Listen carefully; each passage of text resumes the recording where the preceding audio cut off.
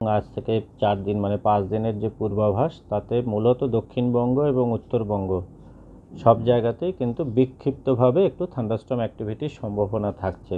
বিক্ষিপ্তভাবে এই জন্য বলছি যে সব জায়গাতে হবে না এবং সব জায়গাতে সমান বৃষ্টিও হবে না। তার মধ্যে আজকে সাতাশ তারিখ দক্ষিণবঙ্গ, উত্তরবঙ্গ সব জায়গাতেই বিক্ষিপ্তভাবে থান্ডারস্টর্ম অ্যাক্টিভিটির সম্ভাবনা।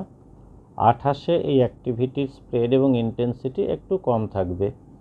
আবার উনত্রিশ থেকে আজকে যে ইন্টেন্সিটি বা স্প্রেডের সম্ভাবনা সেরকম উনত্রিশ, তিরিশ এবং এক তারিখ সেরকমই থাকবে। তাপমাত্রা উত্তরবঙ্গ, দক্ষিণবঙ্গ সব জায়গাতেই প্রথম তিন দিন একটু সামান্য কিন্তু বাড়বে। এবং যেহেতু ময়েশ্চারও আছে, তার মধ্যে তাপমাত্রা একটু বাড়বে বাড়বে মানে খুব বেশি বাড়বে না।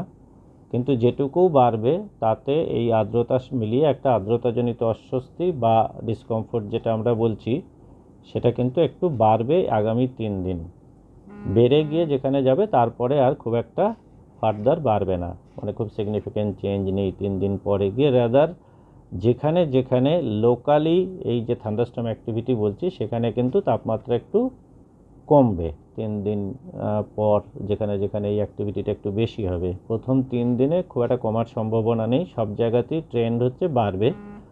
তিন দিন বাদে ফার্দার বাড়বে না। কোথাও কোথাও রেদার একটু একটু কমবে, যেখানে যেখানে এই থান্ডারস্টর্ম অ্যাক্টিভিটিগুলো হবে, সেটা কি উত্তরবঙ্গ, কি দক্ষিণবঙ্গ।